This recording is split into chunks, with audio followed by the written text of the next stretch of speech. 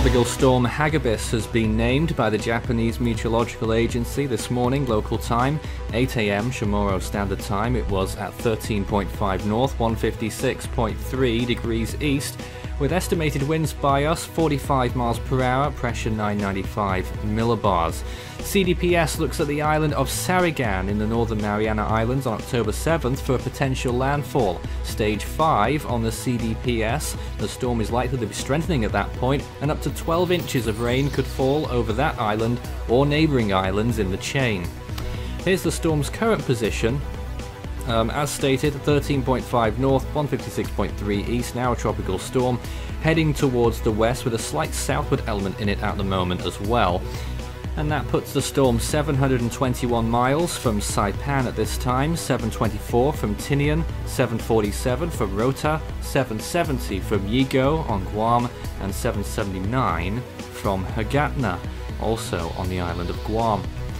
The uh, watches and warnings remain the same. A typhoon watch remains in effect for just the one island, Alamagan, and a tropical storm watch remains in effect for all of the other islands on the chain except for Guam itself.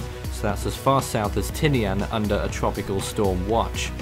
Looking at the rainfall expectations over the next seven days, you can see how the storm progresses. Quite clearly, the track is shown by the pink area, which is over three inches of rainfall, and that will quite clearly fall over many of those islands. Maybe not all of them, though. Um, so, looking towards Guam, might get away with less than three inches of rain. You can just about make it out there on the edge of the pink outline near the bottom. Um, but most of those islands are going to get a lot of rainfall from this storm uh, because it is becoming more apparent that it's probably going to get some intensity around it and size by the time it gets there. Here's the current sea surface temperatures, around 28 or 29 degrees Celsius ahead of the storm, so certainly very warm. Um, not quite as warm as maybe they could be, uh, but still very warm and significant potential for this storm to reach major typhoon status. As a matter of fact, 100% of 12Z models, the latest model runs, um, are predicting a Category 4 at least out of this, and 50% of them are calling for a Category 5. I don't think I've ever seen the models so confident on an extremely powerful storm like that. GFS is one of them calling for a high-end Category 4 here, moving off towards the northwest. Many ensemble members of the GFS calling for a Category 5 too. Look how large it gets late on in that model run as well as it heads towards Japan, and it could be serious there um, by the time it gets there, but that's still very far out.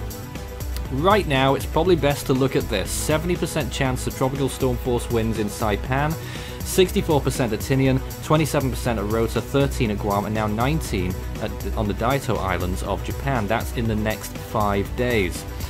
Looking at what the models are saying, we've got all them laid out on the screen here. Now, uh, a lot of the models are calling for Category 5 based on the pressure estimates. Um, quite often these models go a little bit low on the wind speed, particularly the GFS. HWI calling for mid-range Category 4, however, which is interesting. Sea surface temperatures still around 29 or 30 degrees according to the models. Relative humidity is very good. Um, prime conditions, whichever way you look at this, for the next three to five days at least. So here is how the storm has actually been looking in the last six hours or so, um, overnight hours into the morning local time.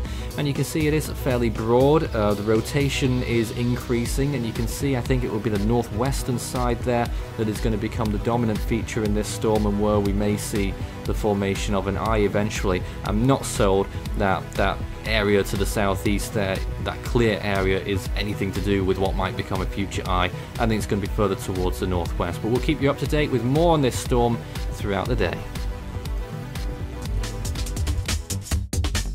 You can follow Force 13's outlets, the website force13.com. You can also find our YouTube channel if you're not there already, you may well be. Good chance of that. Subscribe if you haven't. You can also find our Facebook page, search Force 13 all in text, and our Twitter handle, it's at Force 13 on there. You can also help the project become even better by becoming a patron. You can see more information about all the benefits involved by visiting patreon.com forward slash force13. With a special thanks to these people for being our most valued patrons this month. You can also check out our growing merch store so you can show Force 13's colours wherever you go. You can also find a link to our Discord server underneath this video in the description.